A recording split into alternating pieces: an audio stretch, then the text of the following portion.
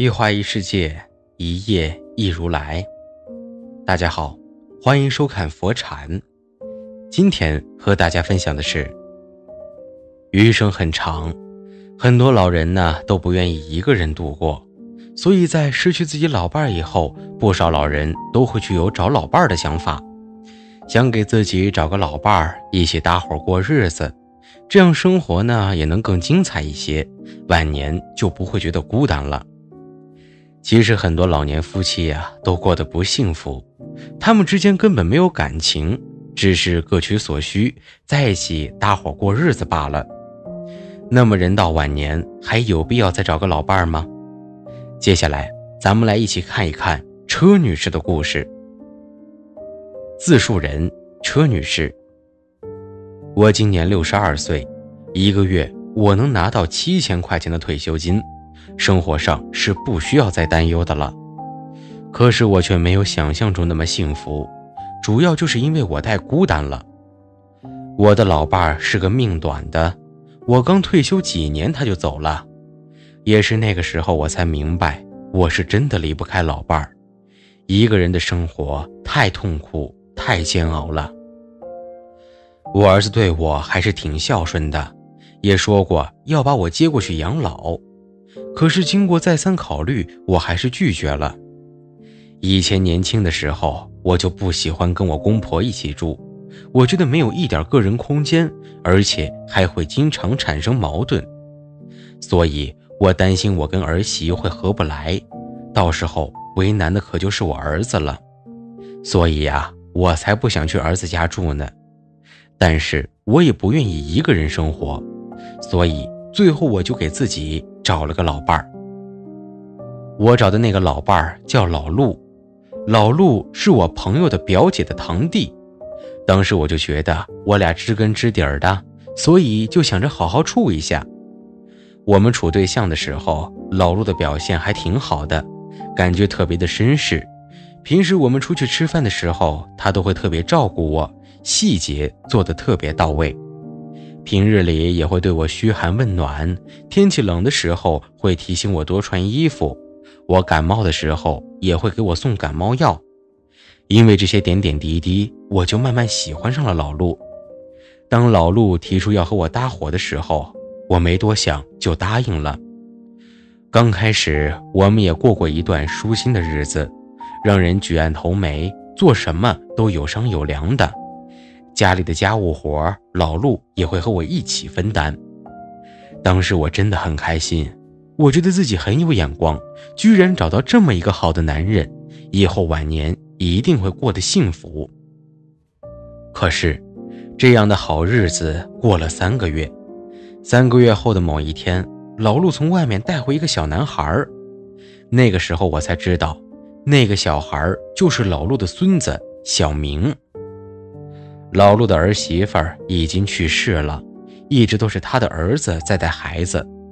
他孩子平时又要上班，所以也没有时间去照顾孩子。当时我第一次看到小明的时候，小明的衣服都是脏兮兮的，看着十分的可怜，所以我就起了恻隐之心，也就同意把老陆把孩子接过来一起住了。从那以后，我身上多了一个责任，那就是照顾小明。可能是疏于管教，小明特别的调皮，平日在家里就喜欢跑来跑去的，特别的吵闹。我们楼下住的是一对年轻夫妻，那个女人已经怀孕了，平时邻居吵闹一点，她都会说别人，更别说我们这种情况了。自从小明过来住以后，那个女人经常跑上来投诉我们，而且还打物业电话投诉。我每次都只能给人家赔礼道歉，我也说过小明很多次了，可是我不管怎么说，他都不听。毕竟我不是孩子的亲奶奶，我也不能做得太过分。所以呢，我就让老陆多管教一下小明。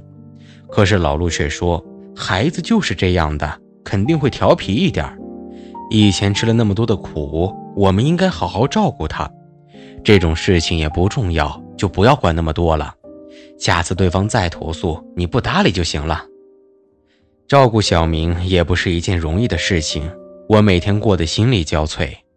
以前我儿子特别体谅我，从来没让我帮忙照顾过孩子。可是没想到有一天我会帮着别的男人去照顾孩子，想想都觉得无语。但是既然我选择了老陆，那我就应该把我们的小家去经营好。所以就算心里有意见，我也从来没有把我的不满说出来。后来老陆还把他的儿子接了过来。说他儿子一个人住也挺可怜的，回到家连碗热饭都没有。我现在不仅要做家务，还得伺候他们一家三口，真的是特别的辛苦。而且老陆的儿子还是个难伺候的，对我也不太尊重，从来没有叫过我一声阿姨。所以最后我实在忍无可忍，就和老陆散伙了。离开老陆以后，我才想明白。其实他之所以想和我在一起，就是为了让我伺候他们一家子。当时我还傻傻的以为他对我有真感情，好在我最后及时醒悟了，不然我以后的生活肯定是苦不堪言的。我现在一个人生活也不觉得无聊了，因为我为了打发时间，给自己安排了很多事情要做。我每天又要去跳广场舞，又要去练瑜伽。平时还和我的老姐妹们一起逛街、约会，每天忙得不可开交的。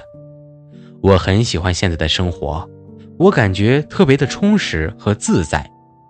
再婚之所以过得不幸福，最重要的还是因为双方不愿意付出，都害怕自己会吃亏。所以，这样的婚姻又怎么可能过得幸福呢？其实，一个人的晚年也可以过得很幸福。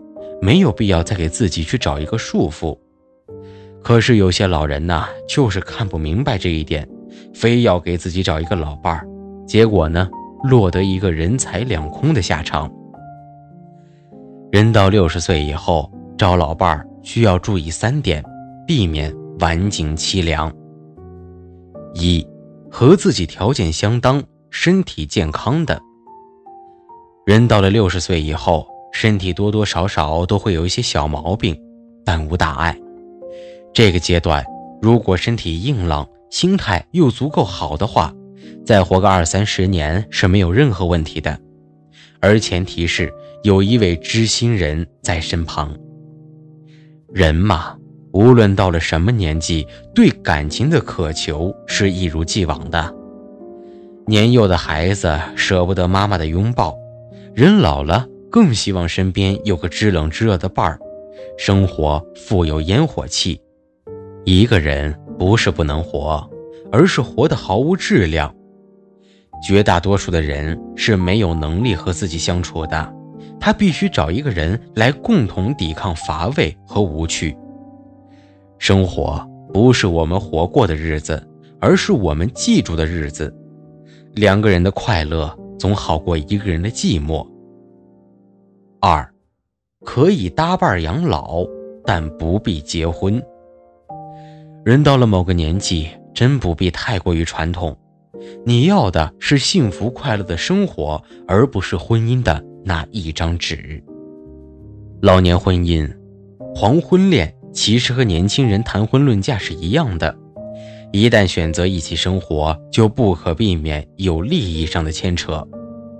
有的人大度不计较。自然不会有太多的烦恼，但是有的人一开始就冲着房子、车子、票子来的，他指望找一个长期饭票来养他。不仅如此，还要帮他养儿子、养孙子，托起他们全家的生计。这样的话，早晚会出问题。可是如果不结婚，只是搭伴养老、共同生活呢？生活健康的时候，两个人在一起生活。男方负责所有的开销，女方负责一日三餐。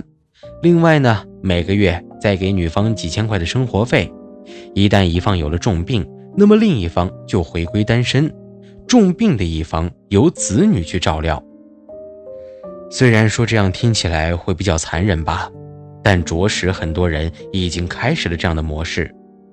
不然的话，老年婚姻过不了儿女那道坎儿。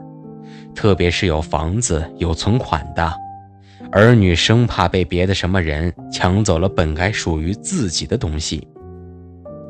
三，提前拟好协议，坦诚不公。两个人既然决定相伴余生，就应该拿出真诚和真心。人心换人心，这样的日子才能越过越舒坦。任何的算计和套路都要不得。是谎言，总有被拆穿的一天。人老了，感情上更受不得半点委屈，承受不来的。当你看到一个白发苍苍的老人独自抹泪的模样，作为儿女，你会心疼到无法呼吸。人都会老，如何安顿好父母的晚年，让其老有所养、老有所依、老有所乐，都是摆在所有子女面前的一道难题。有心的人会成为父母的避风港，有心的人会给予父母一个优质的晚年。你养我一小，我养你一老，是时候该替他们做主，冲锋陷阵了。一如年少时躲在他们臂弯里享受岁月静好时一样。生命嘛，它是一场轮回，对父母好就是对自己好。今天的分享就是这些了，非常感谢您的收看。喜欢佛山频道，别忘了点点订阅和转发，在这里你永远不会孤单。